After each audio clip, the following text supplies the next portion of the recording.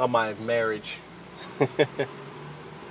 and, um, you know, my wife has just lost faith in me as a husband, as a provider, and um, you know her favorite line is "I just can't trust you anymore." Trust, trust in making money or achieving what I, you know, set out to do. And um, I went to the states for eight months, and that was a failure. Ended up spending more money than making. Um, my wife has basically supported me for, you know, over a year. When I came back, um, I finally got this job uh, this year, early part of this year, but last year I didn't have any work. And, um, you know, I put so much time and effort into my startup, you know, open startups, FoundUps, and nothing happened. And now I'm doing another startup. She just can't believe it. She can't trust it. You know, we've been married five, well, longer, six years. And, um, and how can you be in a relationship where there's no trust? You know, so she wants me just to get, make more money, work more nine to five, and make more money. Um, whereas I'm applying my free time to trying to get um, my green startup going and learning about chickens and about farming and about bees and you know and this stuff it isn't making money overnight. It's going to take you know five six years. Um, probably if i'm lucky maybe i'll make money next year i don't know but um, ultimately I need land. And she wants to buy a little plot of land, expensive, and throw an expensive house on it and be a slave to the mortgage and to debt and everything else. And um, I would rather find a super, super cheap land, build a super, super cheap house on it, and um, have enough land so I could farm and do chickens and do, you know, bees and have land to give to my children. And our philosophy is fundamentally different. She wants to do everything how everyone else does it. I don't.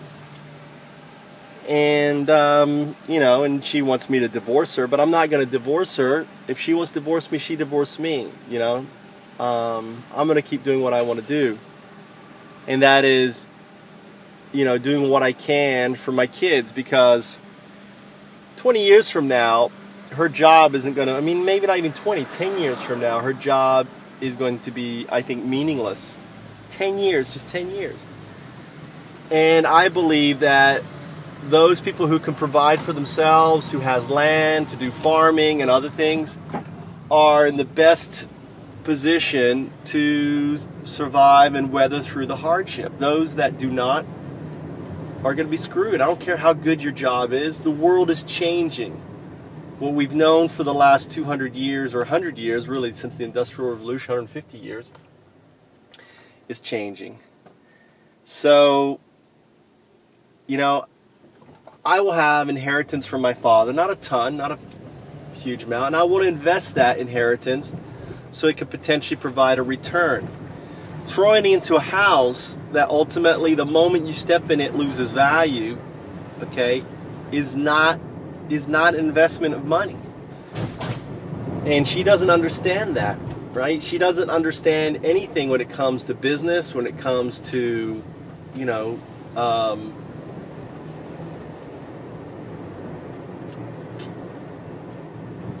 and she doesn't trust me in my decisions. So, you know, that's where I'm at with my wife. She's a great woman. She's a great mother. She's a hard worker. There's no one who works as hard as, you know, there's no woman that works uh, harder than her. She puts in long hours. She puts in evenings. You know, she's she's amazing.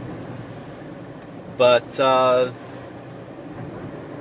but she's ignorant too. She's ignorant on what's coming. She's ignorant on the reality of things. She's ignorant on what is possible.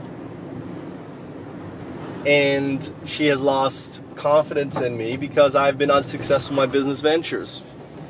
Well, you know, I try to tell her over 99.9% of people who try to do a startup, internet startup, failed globally, or do a startup period fail. Over 99% doing startups is expensive, takes money. So, something I've never had is access to capital. I've never had access to capital.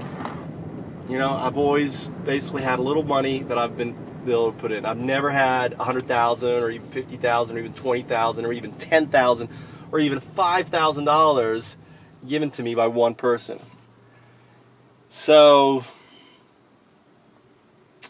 this is my dilemma. And we're pretty much going our separate ways when it comes down to this, you know. Because I see, like I said, I see what's coming and I know what needs to be done. And that's the only thing that matters to me is the well being of my family, my kids specifically.